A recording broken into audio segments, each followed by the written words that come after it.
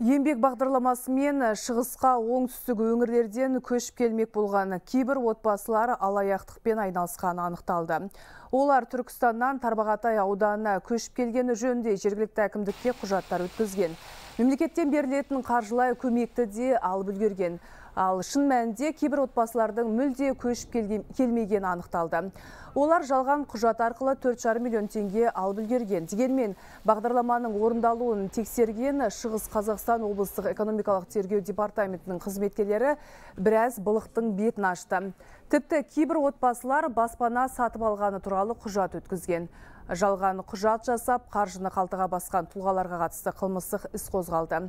Енді олар 3 миллионға дейін айыппұл төлеуі мүмкін немесе мүлкі тәркіленіп 3 жылға дейін бас бостандығынан айырылады. Четверо участников программы түркістан облысының төрт тұрғыны шығысқа көшіп келмей тұрып тарбағатай аудандық жұмыспен қамту бөліміне жалған құжат жасап ұсынған. Тіпті үй сатып алғандары туралы келісімшартты құжат ретінде өткізген. алайда олар үй сатып алдық деп құжатта көрсеткен адамдарға сұрау салғанда баспана сатпағандарын айтып таң қалды. Қазір осы іс бойынша тергеу жүріп жатыр.